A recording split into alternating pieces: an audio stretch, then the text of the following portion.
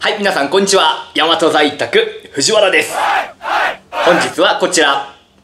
土地活用相続税対策の基本1。まずは本日は概要についてですね、お伝えしたいと思います。え土地活用、え土地をお持ちのオーナーの向けにですね、え、今回から、え、土地活用相続税対策についてですね、え、基本的な、え項目から解説していきますので、えー、ぜひ最後までご覧いただきたいというふうに思います。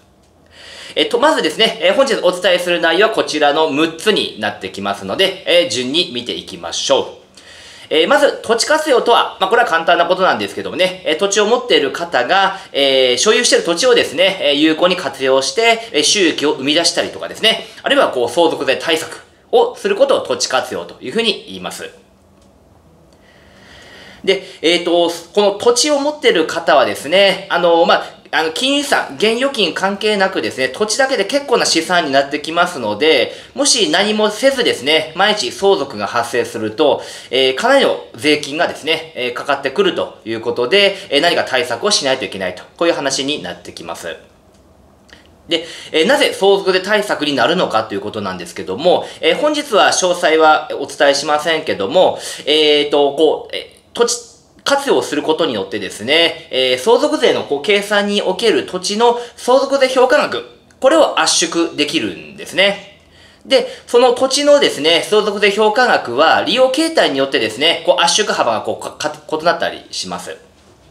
まあ、これはですね、また、えー、別の動画でですね、えー、解説していきたいというふうに思います。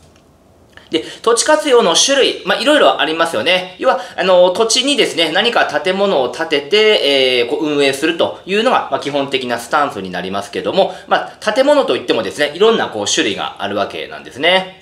まず一番メジャーなのがアパートとかマンションですね。住居系の不動産をこう建てて、えー、土地活用すると。まあ、これはですね、非常にこう、あの、まあ、住居系の不動産ですので、えー、場所さえ間違わなければですね、えー、中長期的に安定収入が得られたりとかですね。あとは、あの、詳細は本日お伝えしませんけども、えー、相続税評価額の圧縮効果も大きかったりとか、えー、まあ、メリ、デメリットとしてはですね、賃貸管理ですね。これが、まあ、あのー、土地オーナーの方が、えー、ご自身でやられるにはちょっと、まあ、いろいろ手間がありますので、まあ、そういった部分はですね、管理会社に任せたりするという形になります。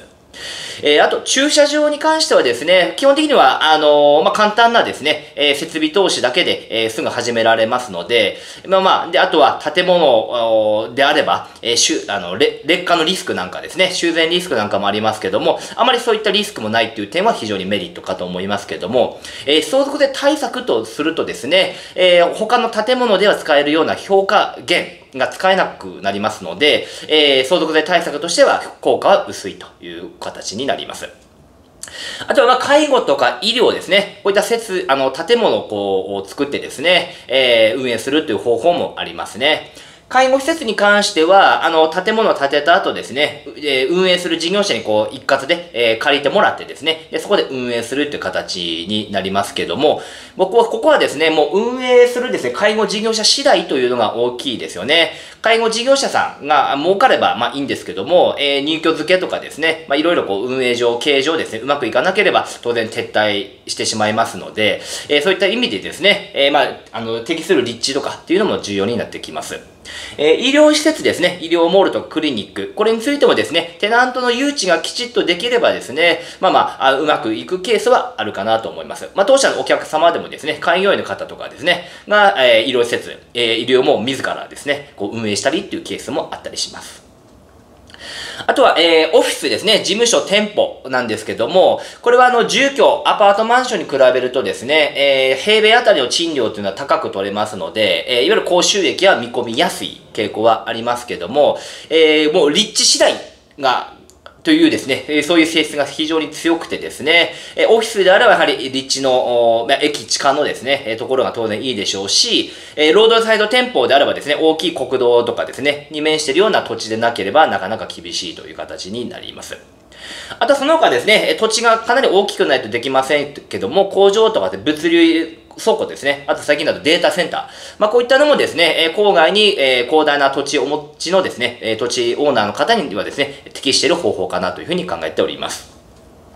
で、えー、土地活用、誰に相談すればいいかということなんですが、えー、まあ、いろいろですね、えー、こう、土地活用周辺のですね、え、こう、事業者といいますか、プレイヤーというのはいろいろりまして、え、まず専門家、え、これ税理士とかですね、え、ファイナンシャルプランナーとか、まあ、こういったところにご相談されるケースもあると思いますし、まあ、あとはですね、え、金融機関、えー、先ほど出てきたですね、いろんなこう土地活用をするに際してもですね、やはり基本的にはお金を借りるということになりますので、それやはりいずれですね、いずれにしてもこう金融機関が、え、何らかの形で絡んではきますので、金融機関にですね、ご相談されるケースもあるかなというふうに思いますし、あとは業者ですね、え、コンサル、土地活用のコンサル会社というのもありますし、まあ、我々のようなですね、不動産とか建設会社ですね、建築会社、こういったところにご相談して、えー、まあ、土地活用のプランをですね、ご提案、あ提案受けたりということが、えー、できます。で、いつから考えるべきかなんですけども、これ相続に関してですね、の、えー、ご自身がどの立場か、えー、相続人なのか、非相続人なのか、あるいはその親族なのかによってもですね、えー、いろいろ、立場によって変わるんですが、え、基本的にはですね、え、早めに余裕を持って考えられた方が、え、良いというふうに当社では考えております。なぜかというとですね、えー、まあ当然なんですけども、相続対策というのはですね、えー、非相続人が、えー、ま、生きてる間ですね、えー、相続をこう、資産を持ってる方ですね、が、生きてる間にしか当然できませんので、えー、まあ、早いうちにやった方がいいというのもありますし、あとは物件とかですね、相続対策の検討から具体的にこう、え土地活用が、え開始するまでもですね、それなりの期間を要しますので、えー、早いうちの方がいいということもありますし、あとは最近のですね、いろいろなこう判例がちょっといろいろ出てましてですね、えー、直近のですね、相続税対策という形であれば、えー、税務当局からですね、相続税対策としてこう否認されるというリスクもありますので、えやはり賃貸経営としてですね、えきちっと運営していくということが大切かなというふうに考えております。